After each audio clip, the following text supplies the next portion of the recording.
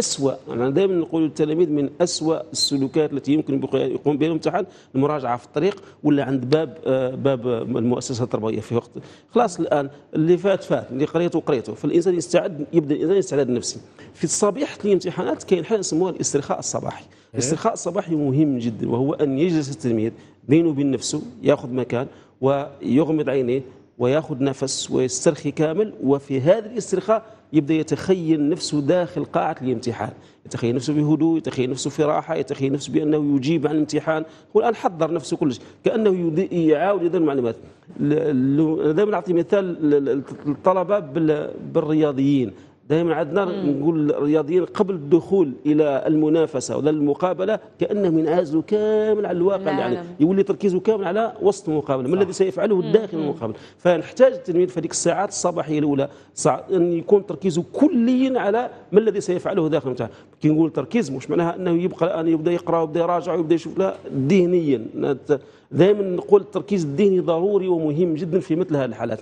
فبعد هذه الارتخاء الصباحي عندما يذهب التلميذ إلى قاعة الامتحان فدخلت إلى قاعة الامتحان هنا قد تكون قد يكون بعض الارتباك بعض الارتباك معقول. عادي عادي إنك تدخل أجواء غير غير معتادة خاصة عند الامتحانات النهائية تصحبها مجموعة من الإجراءات إجراءات أمنية إجراءات إدارية خاصة فخاصه سنة التلاميذ صراحة مش مولفين هذا هذا هذه الإجراءات قد ينتابهم شيء من من القلق ولا الخوف فهو عادي. فلذلك إحنا واش نديروا؟ حالة الخوف اللي يكون فيها الإنسان. فيكون العقل ولا الدماغ نتاعنا في أو منطقة التحليل التحليل العاطفي أو الانفعالي هي اللي تكون شغالة. فمن هنا حتى نحول تشغيل الدماغ من منطقة الانفعالات إلى منطقة المعلومات والتحليل فنكتب أكثر شيء نعرفه ونحفظه ولا يمكن أن ننساه ابدا.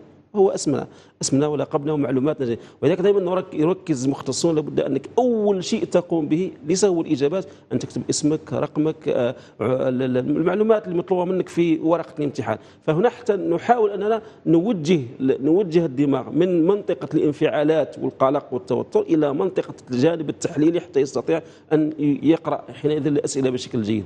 قراءة الأسئلة هنا لابد أن تكون أنا دائما آه، بعض التلاميذ كي نقول الفكرة يضحكوا. من الأفكار المهمة اللي كنا دائما نعطوها للتلاميذ وهي أنك آه، أنك تبني ألفة مع ورقة الامتحان قبل أن تقرأ الاسئله كي تشد ورقة الامتحان ما تروحش ملهوف حاب تقرأ أسئلة وتشوف تجي توتر نفسك. فشد ورقة الامتحان شوف فيها مسها بيديك ضعها على صدرك خليها ابني معها ألفة. الذي الذي ينبغي أن نؤكد عليه اننا أن حواسنا كلها تستطيع إدخال المعلومات. معناها المعلومات عن طريق عن طريق اللمس عن طريق السمع عن طريق فكل حواسنا تدخل المعلومات. فأنت كي تحط الورقة ولا الامتحان فأنت تدخل معلومات للدماغ نتاعك بطريقة أخرى بطريقه بطريقة غير مألوفة بالنسبة إليه. بعد ذلك يقرأ الإنسان قراءة الأسئلة قراءة متأنية. بعد قراءة الأسئلة قراءة متأنية. يحاول الإنسان الاجابه في وقت الإجابة نحتاج إلى أمر أو أمرين مهمين. ضروريين جدا. الأمر الأول في حالة التوتر في حالة ما إذا قريت السؤال وما لقيتش حتى معلومة؟ كل معلومة ويحدث هذا عند الكثير من الطلبة كان اللي يبدأ يبكي كان اللي يبدأ كان يحتل. إغماء. أيوه الاغماء علاش؟ لأن كما كنا نقولوا المنطقة الانفعالية تكون هي المركزة. فاللاوعي واش يدير هذايا؟ كي ما يلقاش الحل يعطيك الحل نتاع الإغماء لأنه مهمته أنه يحافظ على صحة الإنسان.